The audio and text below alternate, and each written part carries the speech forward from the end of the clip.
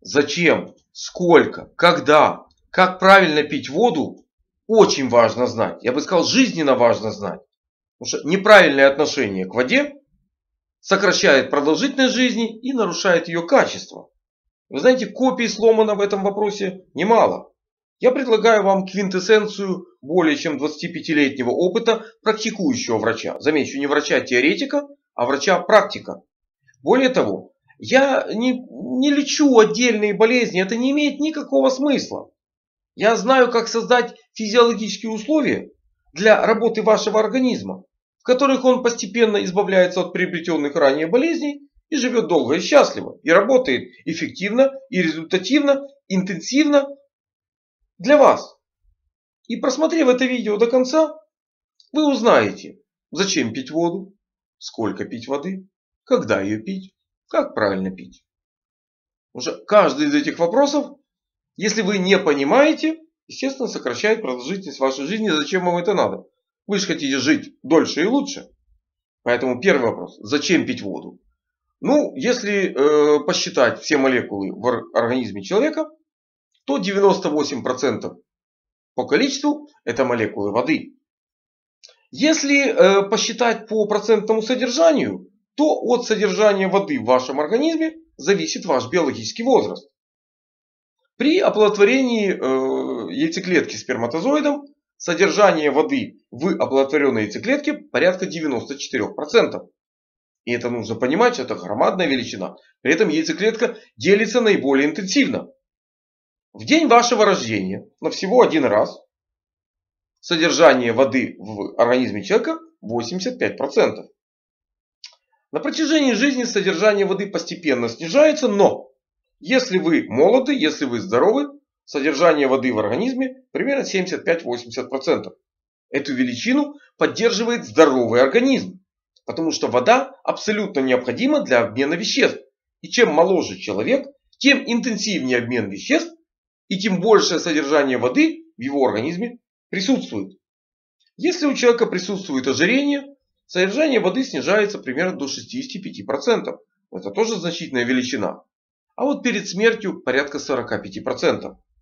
И соединив эти точки 94% при оплодотворении и 45% это смерть, вы понимаете, что в принципе, если классики марксизма-ленизма говорили, что жизнь значит умирать, и в принципе жизнь такая смертельная болезнь, многие говорят, то с точки зрения обмена воды, жить значит высыхать.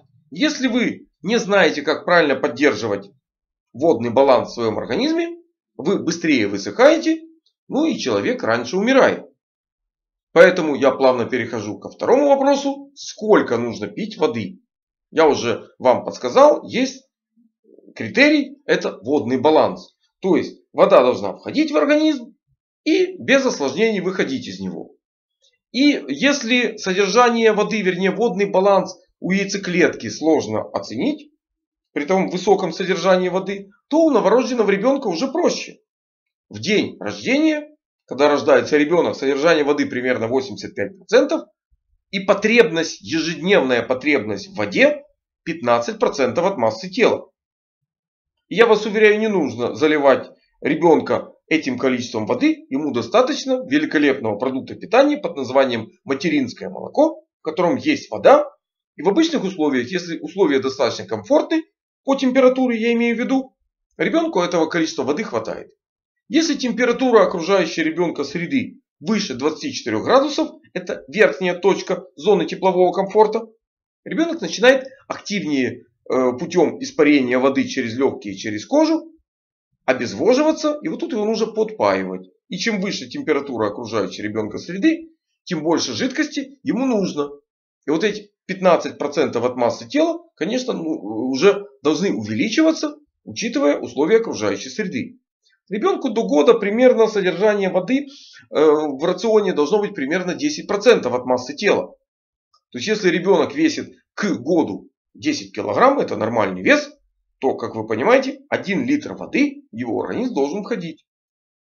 И это не чистая вода, как говорят многие, потому что в таком количестве чистую воду, если ребенок будет пить, ему некогда будет просто кушать. Эта вода находится в продуктах питания. Это нужно просто правильно понимать. Человек молодой, с содержанием воды 75-80%, его потребность ежедневная в воде 4-5% от массы тела. Если же есть заболевание сердечно-сосудистой системы или заболевание почек, то э, эти органы, эти системы, э, управляя более активно обменом воды, они активно в этом участвуют. И если есть заболевание, то, безусловно, содержание воды в рационе, количество воды для поддержания водного баланса резко снижается до нижней границы. Это 1,5% от массы тела плюс компенсация диуреза за вчерашний день. То есть, например, человек весит 60 килограмм, 1,5% это всего 900 миллилитров воды, плюс вчера, допустим, было выделено 500 миллилитров мочи. 500 плюс 900 получаем почти полтора литра воды должно быть в рационе этого человека для того, чтобы поддерживать водный баланс на нужном уровне и не перегружать работу сердечно-сосудистой системы и работу почек. Если вы э, понимаете, что такое водный баланс и успеваете его своевременно поддерживать, вы здоровы, ваша продолжительность жизни будет оптимальной, то есть вы будете жить, этот показатель в самом случае не будет сокращать продолжительность вашей жизни. Если же вы вводите недостаточное количество воды в свой организм, будь э, в чистом виде, либо в составе продуктов питания, каких-то напитков, то Безусловно, вы понимаете, что водный баланс становится немножко иным, воды не хватает, вы постепенно высыхаете, вы стареете, вы приобретаете различные заболевания, связанные с этим состоянием, ну и приближаете смерть. Поэтому так делать не стоит. Знаете, правда, некоторые утверждают, что они не пьют воду вообще. Э, но вы знаете, это вопрос философский. Э, сухое голодание это в обычных условиях 4-5 суток.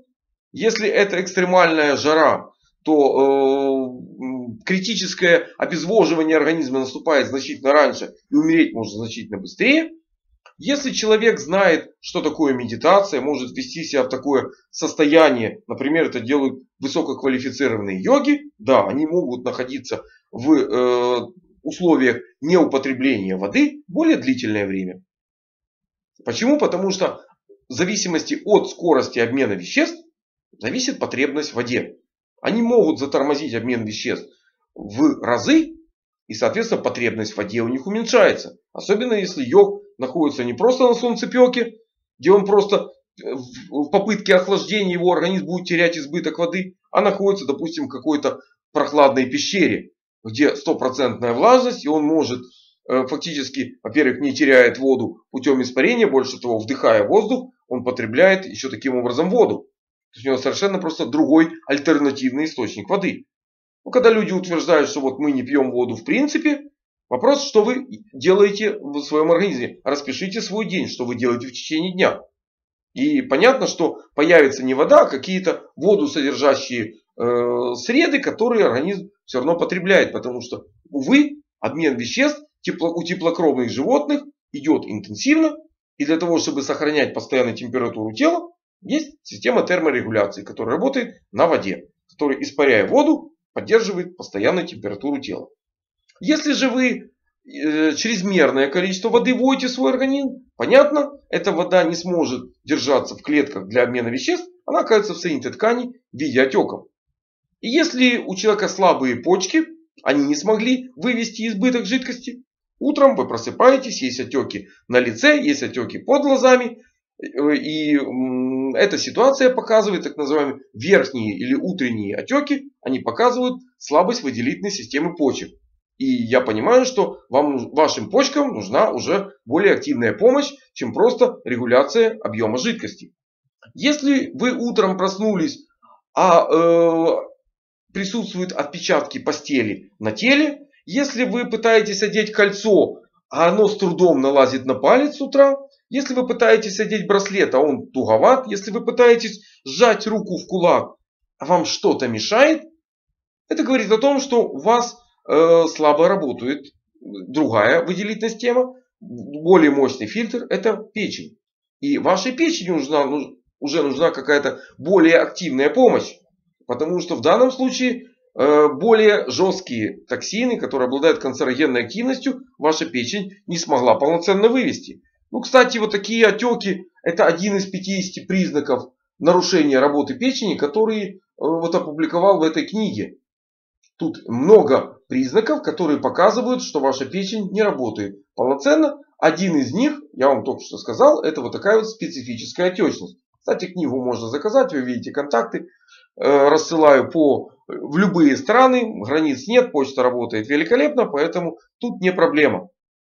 Если же присутствуют нижние отеки, то есть к вечеру появилась отечность на ногах, то я прекрасно понимаю, что плохо работает сердечно-сосудистая система в этом организме. И не нужно ее перегружать водой, потому что сердце и без того перекачивает тонны крови. И если мощности его не хватает, да, кровь, вернее не кровь, а жидкая часть крови остается э, благодаря гидростатическому давлению, остается в ногах. И это показывает то, что и эта система не работает полноценно, не работает эффективно. Вы должны это понимать и использовать для своего здоровья, регулируя объемом качественно и количественно э, употребляя жидкость, регулировать работу своего организма и не перенапрягать эти системы. А лучше, конечно, позаботиться о том, чтобы их усилить. Потому что чем лучше работают два фильтра, печень и почки, и чем лучше работает сердечно-сосудистая система, которая связывает все органы и системы в вашем организме, зависит фактически биологический возраст вашего организма, зависит качество вашей жизни сегодня и потенциальная ее продолжительность. Потому что понимаете, что печень и почки очищают кровь, почки 100% это кормилец вашего организма, потому что от печени зависит, как будут переработаны продукты питания в нужные только вам и исключительно вам компоненты. Ну а сердечно-сосудистая система должна разнести все это. Продукты питания клеткам, образовавшиеся там шлаки через выделительную систему удалить из вашего организма. И вот тут возникает вопрос, э, как же обеспечить работу вашего организма, как рационально использовать ту воду, которая вашему организму нужна ежедневно, нужна ежеминутно, нужна ежесекундно. Вопрос, когда пить. Ну, э, если мы понимаем, что вода, она не улучшает процесс пищеварения, а попадая в желудок, разбавляя желудочный сок, то понятно, что пить нужно воду обязательно на пустой желудок. Потому что, чтобы она все-таки не нарушила процесс пищеварения, это же тоже важно. Вы же понимаете, что одной водой сыт не будешь, нужна все-таки какая-то еда. Поэтому, что получается, когда вы можете совершенно спокойно влить воду, попасть в пустой желудок, это если у вас был скромный ужин, и вы э, эту ситуацию сделали, допустим, проснулись ночью по какой-то другой причине. Да, скромный ужин в желудке, как правило, уже пусто. Вы можете спокойно туда влить 200-300 мл воды. Если вы проснулись утром и не обязательно ждать чувства жажды, вы утром имеете право совершенно спокойно выпить воду, а еще лучше воду с различными добавлениями, кстати, такое видео, как правильно начинать день, есть на моем канале, поэтому вы легко можете его просмотреть. Если вы долго не ели и пища была такая более легко усваиваемая, то я понимаю, тоже вы можете выпить воду. Вот как правильно пить воду после еды, тоже есть такое видео на моем канале. Это очень важно знать. Потому что состояние после еды возникает в разное время. После одной еды возникает через 40 минут, а после иной еды возникает через 8-9 часов. И это нужно просто понимать. От качества продуктов питания, которые вы съели и от их количества, зависит время, необходимое на опорожнение желудка, когда там пищеварение произошло. И вы можете спокойно вливать туда воду.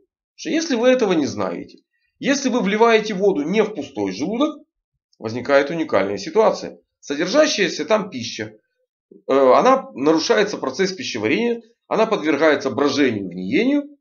Если брожение, продукты брожения первично раздражают только печень, печень работает хуже. Если процесс гниения вслед за печенью раздражаются еще почки, потому что процесс э, гниения белков, э, продукты гниения белков выводятся почками. И вы понимаете, что две системы у вас работают плохо. И вы не просто транжира, по здоровью, вы еще транжира по деньгам. Потому что пища у вас, вы вложили в пищеварительную систему, она у вас не переварилась, деньги-то вы на нее, на нее потратили. Вы же э, должны это все понимать, что пища сегодня достается не бесплатно, особенно качественная, хорошая пища, и вложив ее в пищеварительную систему, потом залив туда воду, вы нарушаете процесс пищеварения. У вас развивается и активируется дисбактериоз кишечника. Такое видео можете тоже найти на моем канале. Минус 30% жизни, если вы не знаете, как правильно пить воду после еды. И таким образом вы провоцируете свой организм на э, развитие дисбактериоза кишечника и сокращение продолжительности жизни, причем за ваш собственный счет. Вы не просто деньги теряете, вы их вкладываете в сокращение продолжительности своей жизни. Вы должны это четко понимать. Поэтому видео обязательно просмотрите, как правильно пить воду после еды. Это очень важный момент. Ну, кстати, э, как правильно пить воду в принципе, тоже несколько видео есть на моем канале уже. Потому что важно правильно сочетать. Вода, еда, физическая нагрузка, эмоциональная активность, вообще в принципе какая-то деятельность или бездеятельность, то есть работа либо отдых, они должны правильно сочетаться. И важно понимать, что сочетание должно быть без проявления отеков, без вздутия живота, без урчания, без появления обязательно чувства жажды. Чувство жажды вроде как, ну подумаешь, жажда появилась. Это очень серьезный показатель, который говорит, отражает всего 1% степени обезвоживания вашего организма. Всего-то ничего. Какая мелочевка. Но жажда равно высокая вязкость крови. А что такое высокая вязкость крови? Это нагрузка на мотор, нагрузка на сосуды. Но тут сердце с сосудами могут недолго терпеть чувство жажды. Поэтому важно понимать, как правильно все это комбинировать, для того, чтобы пища переваривалась оптимально, продукты жизнедеятельности или шлаки обмена веществ выводились эффективно, ну и сердце работало подольше и получше. Это важно просто все это в комплексе понимать, поэтому смотрите видео на моем канале, не вопрос. Вот есть еще один вопрос, который я не обозначил с самого начала. Какую воду пить? Здесь разночтений масса. А знаете почему? Большинство людей, которые пишут, что вот нужно пить такую воду, такую воду, такую, такую, такую, такую, десятки видов сегодня. Вы знаете, каждый из них частично прав. Потому что для того, чтобы поддерживать высокий уровень вашего здоровья, вы должны понимать, что вода разного качества поддерживает более активно какой-то определенный вид активности вашей, определенный вид вашей жизнедеятельности. И вам нужны на самом деле десятки видов воды, просто понимать, что эти десятки видов воды обеспечивают вас на определенном промежутке вашего э, времени, вашей, вашего рабочего дня, вашей жизни. И если вы правильно комбинируете вот эти все разные виды воды, ваш уровень здоровья будет высок, ваша работоспособность будет высока, и ваша продолжительность жизни будет максимально продолжительной. Вы должны это просто понимать. Если же вы этого не знаете, если вы это не понимаете, если вы считаете, что вот только такая или только такая вода, или с таким показателем, или с таким показателем принесет вам абсолютное здоровье в любых условиях, вы ошибаетесь. Вы знаете, подобрать воду под ваш образ жизни часто сложнее, чем э, нанести правильный макияж в соответствии с теми условиями, в которых вы собираетесь находиться. Чем соблюсти дресс-код. Знаете, э, разные ситуации бывают. Но я думаю, что не очень э, в, своем, в своей тарелке или в своем теле будет чувствовать себя человек, если зайдет в пляжном костюме, допустим, на дипломатический прием. Или наоборот, во фраке пойдет э, в тренажерный зал. Нет, дойти до тренажерного зала можно, там совершенно другой дресс-код. Там нужно переодеться в совершенно иную, иную одежду. Хотя вы знаете, видео во фраке на, на беговой дорожке, думаю, что оно взяло бы много просмотров и лайков. Кстати, если вам вы считаете, что это видео хоть какую-то пользу вам принесло, не забудьте поставить лайк на нем, поделиться с друзьями, знакомыми. А я это видео буду заканчивать с привычными подписчикам моего канала словами крепкого вам здоровья и разумного к нему отношения. Подумай, какое еще видео написать на эту тему в летнюю жару.